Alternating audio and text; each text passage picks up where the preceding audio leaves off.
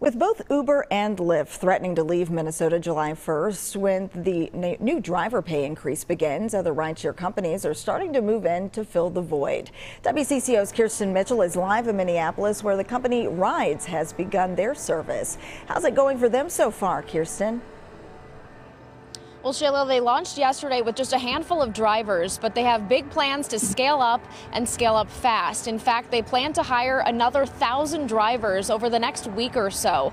Now, Wridz joins MyWheels as the first newly licensed rideshare company here in Minneapolis. They're based out of Austin, Texas, but are now in 10 states, including here in Minnesota.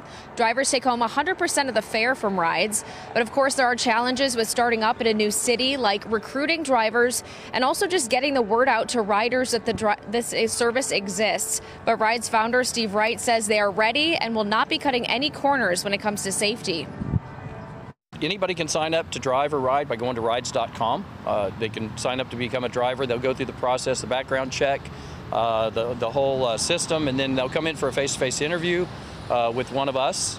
And uh, we also do drug testing for every driver as well. Right now, Wridz is only in Minneapolis, but they're working hard to get licensed in St. Paul and also at the airport. Coming up tonight on WCCO News at 5, hear from MyWheels about their plans to enter the market too. Shayla? All right, our Kirsten Mitchell reporting. Thank you so much, Kirsten.